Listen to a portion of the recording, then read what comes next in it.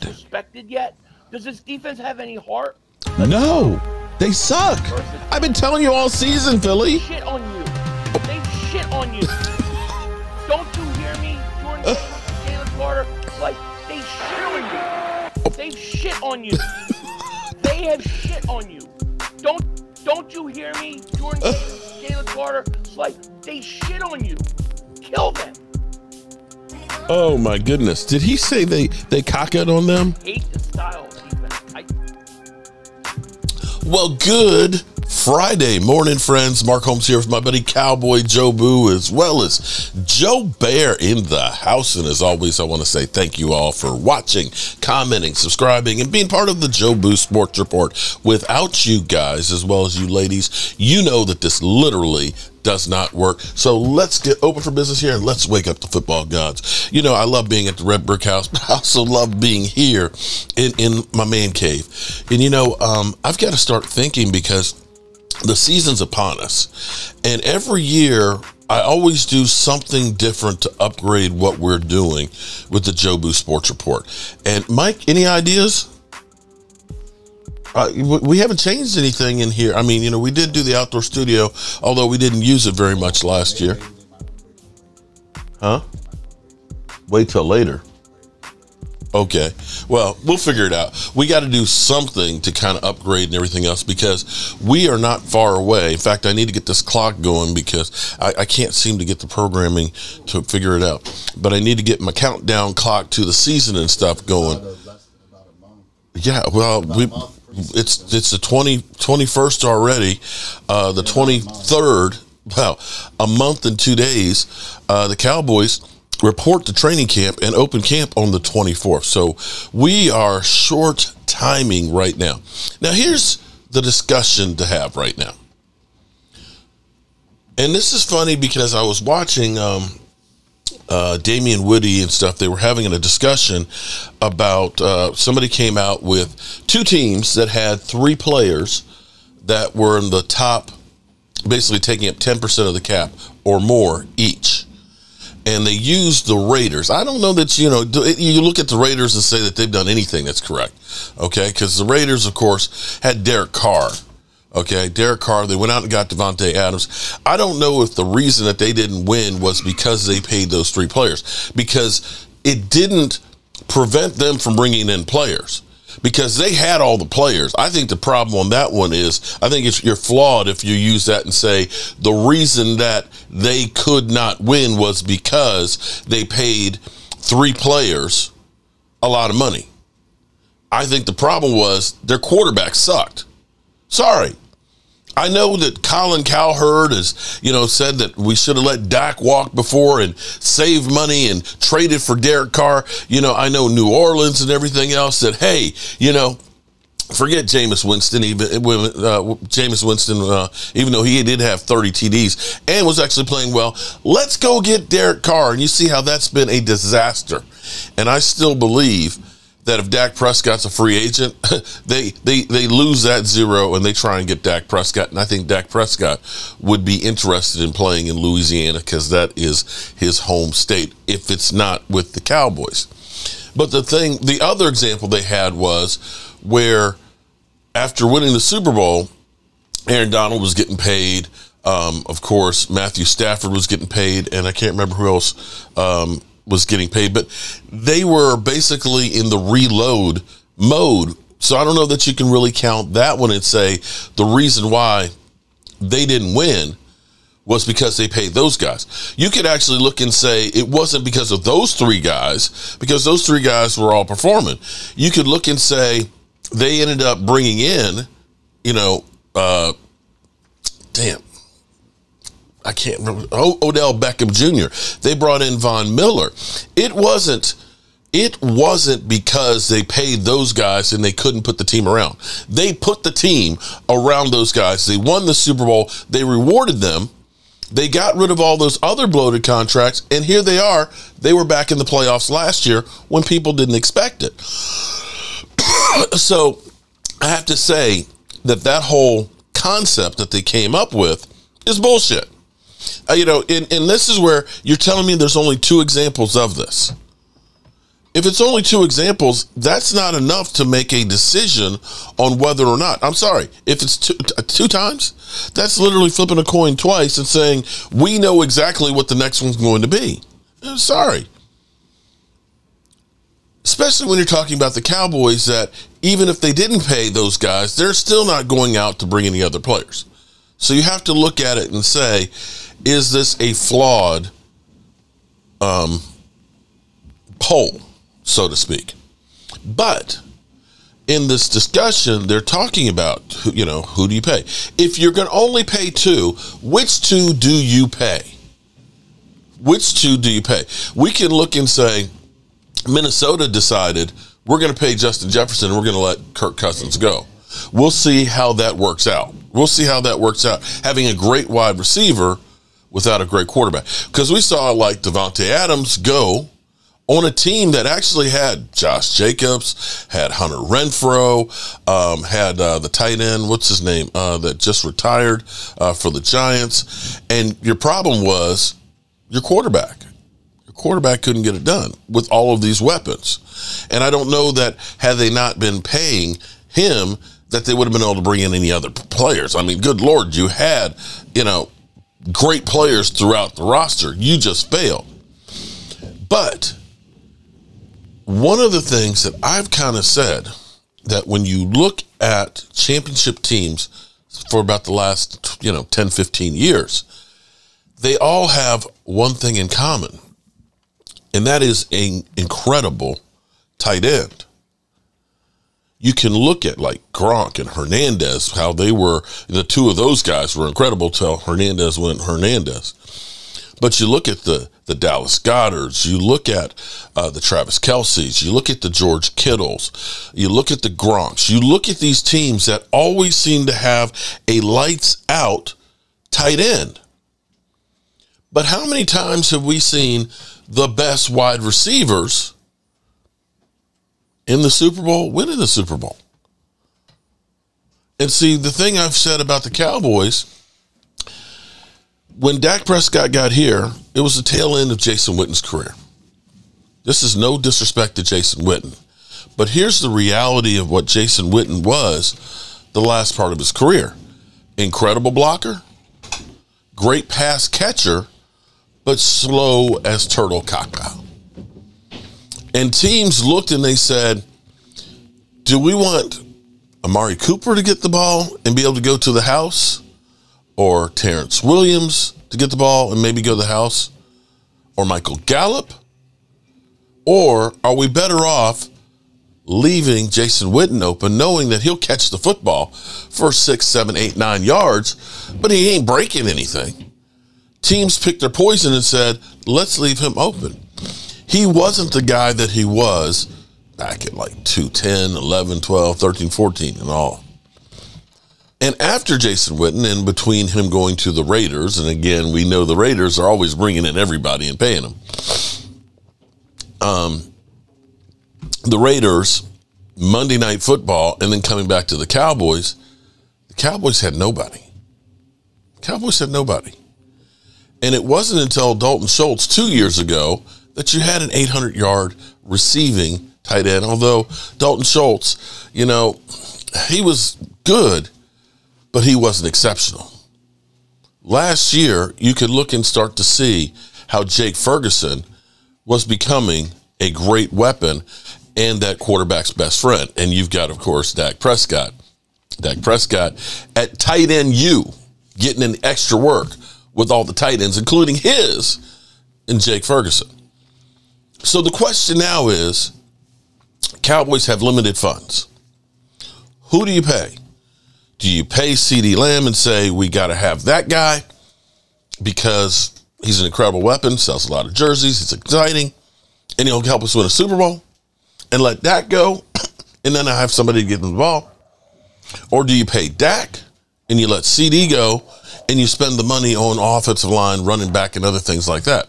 Although it's a mute point for this year, even if you don't sign him to an extension, he will play. Not happy, but he'll play. But be that as it may, or do you pay Micah Parsons? But the thing with the Cowboys is, I don't think we really have to make this decision right now Because the Cowboys probably won't do Micah Parsons' deal right now. They probably won't. Because that's not what they do. They don't ever pay anybody early. But let's go to this discussion because I think that this is actually really deep because it touches on a couple of points. Tight end is huge.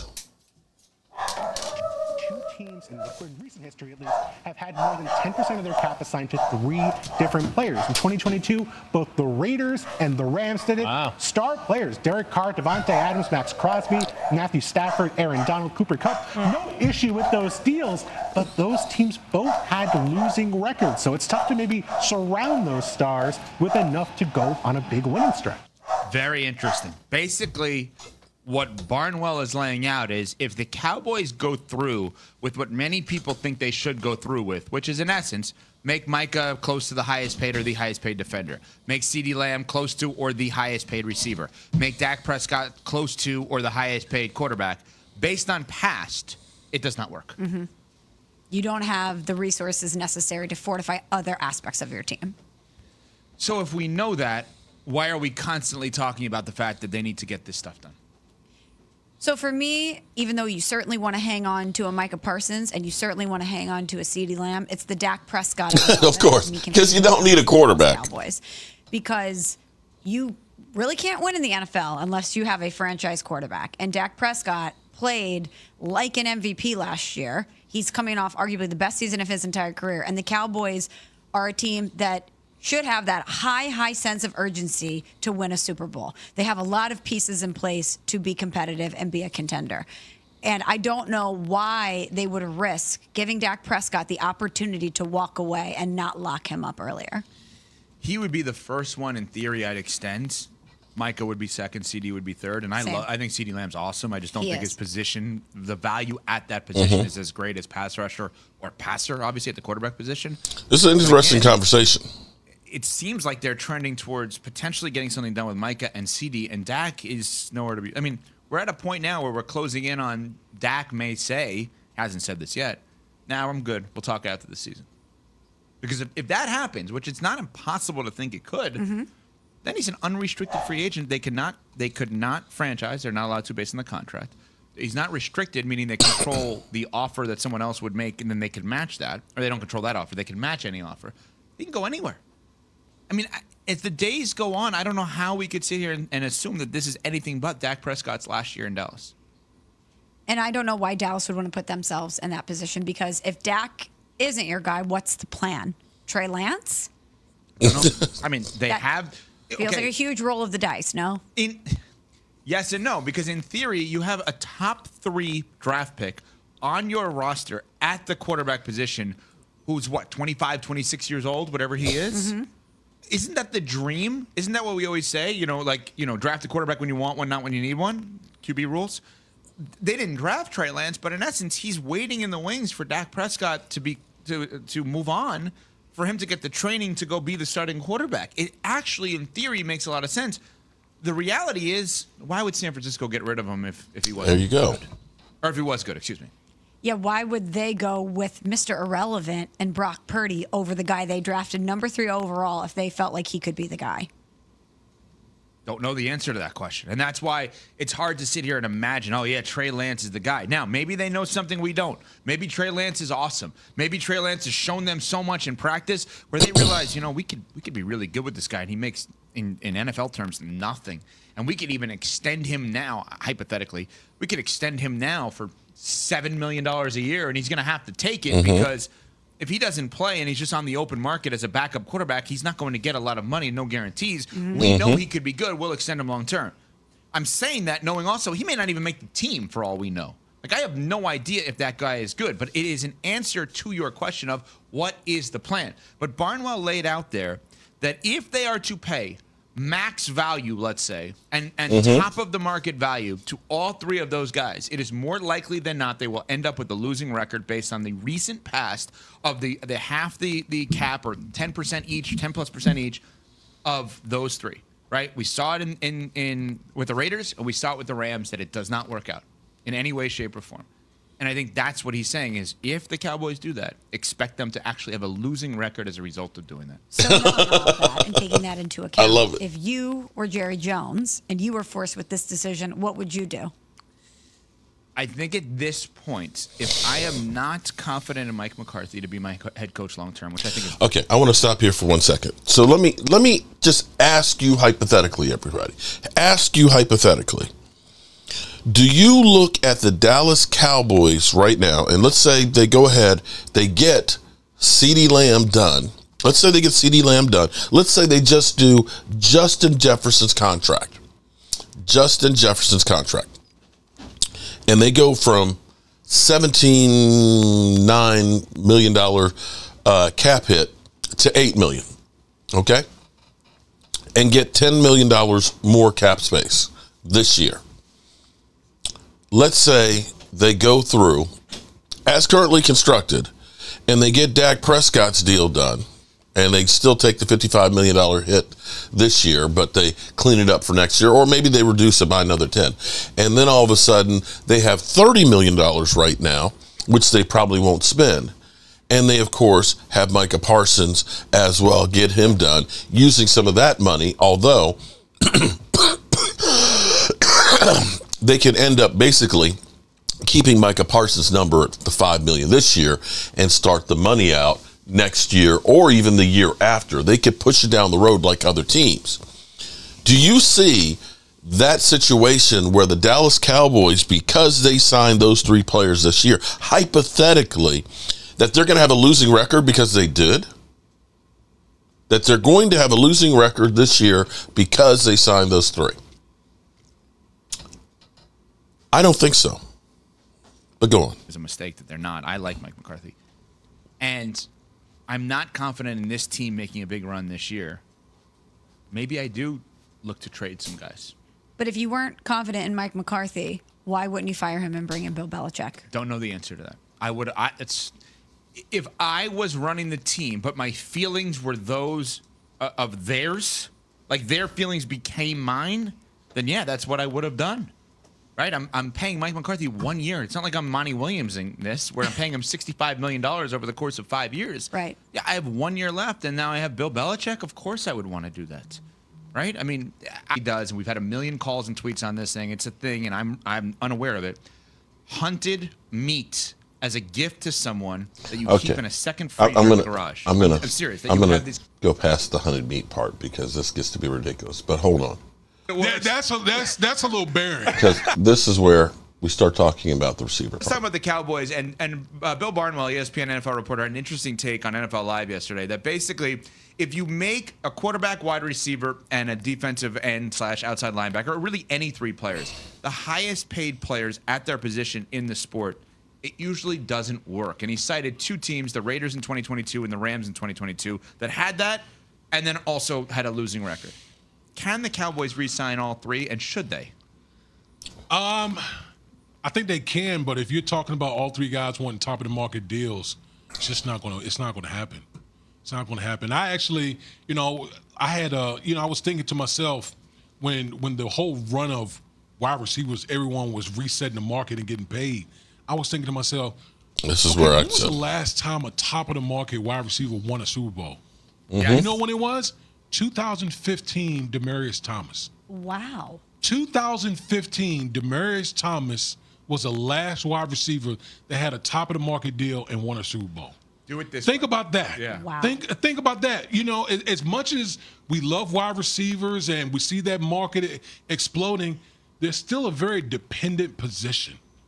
They're very they're dependent on offensive line play. They're dependent on who your quarterback is. So you got to have multiple things going your way Yep. in order for that wide receiver to really go off. Mm-hmm.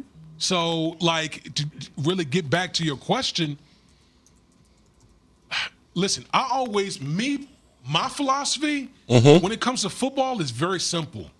The closer you are to the actual football, the more important you are to the game of football. Quarterbacks, protection, guys who get after the quarterbacks. I'm paying those guys first because they affect the game the most. Mm-hmm. Yes, are wide receivers growing as far as importance? Absolutely.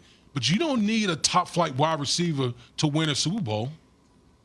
So then, do you think the 49ers should not sign Brandon Aiyuk because he was on that FaceTime that made a lot of headlines? that Yes, said I they do. don't want me back. I do, but I think they should trade Deebo Samuel. Oh. Keep going. I think that because I can find other players that do what Deebo Samuels can do.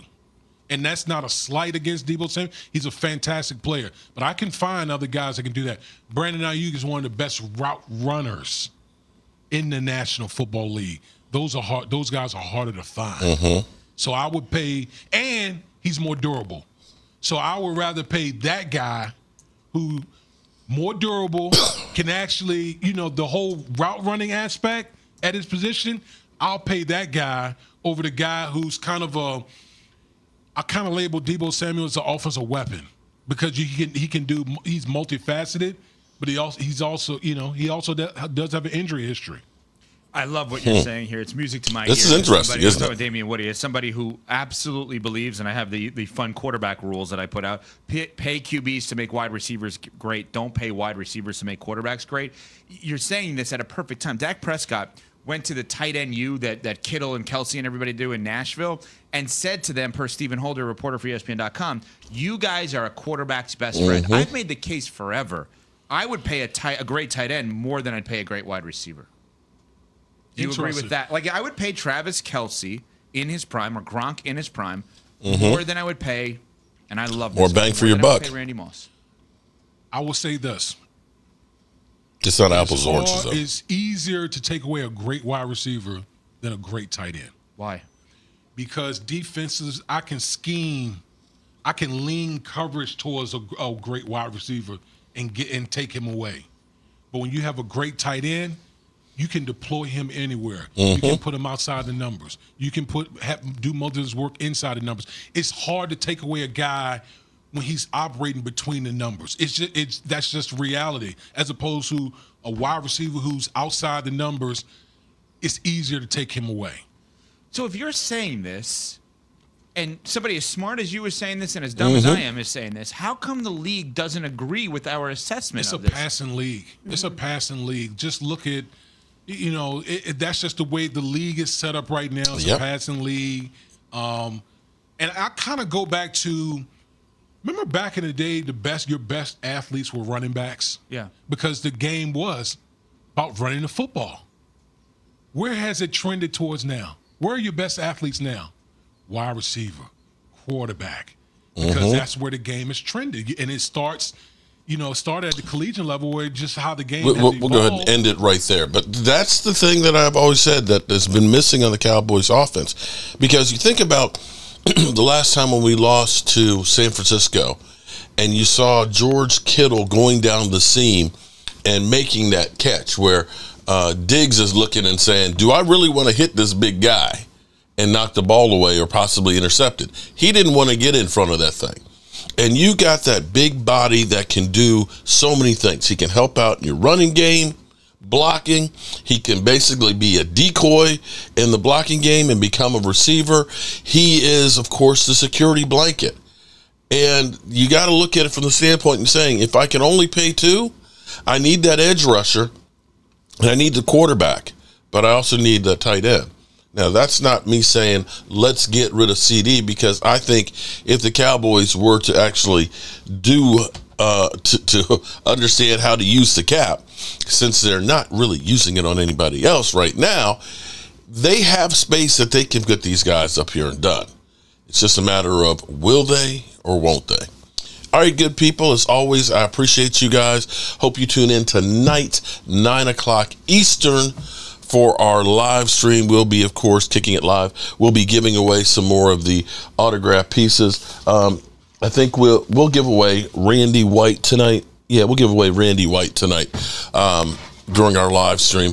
And tomorrow we'll be at the CSA show in Chantilly, Virginia, where Michael Irvin will be there, Charles Haley will be there, and Jay Novacek, and we will get some more of these things autographed for you guys.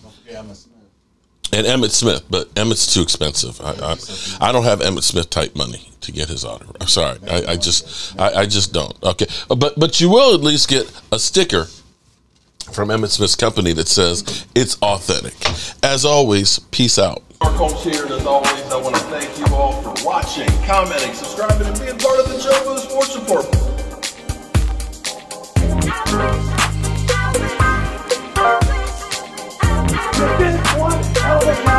The only thing else I got to say is, how about them Cowboys?